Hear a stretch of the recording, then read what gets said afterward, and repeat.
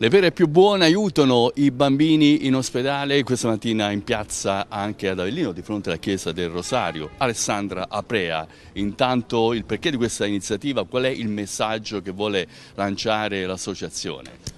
Fondazione Abio organizza la giornata nazionale ogni anno a fine settembre, per, eh, i volontari sono in piazza per raccontare la loro esperienza, noi raccontiamo quello che facciamo in ospedale con i bambini, in pediatria noi supportiamo il ricovero dei bambini e eh, supportiamo anche le famiglie che sono, che sono con loro e, e oggi ci raccontiamo in piazza.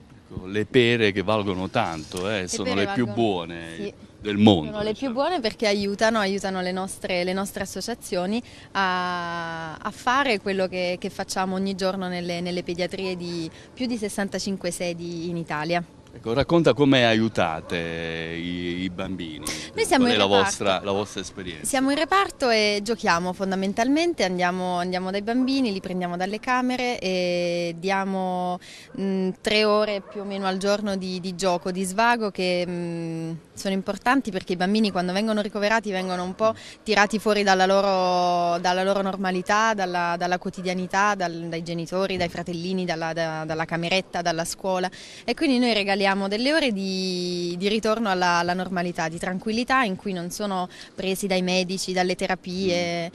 e, e, si rilassano con noi, si divertono, li, facciamo, li coccoliamo un po'.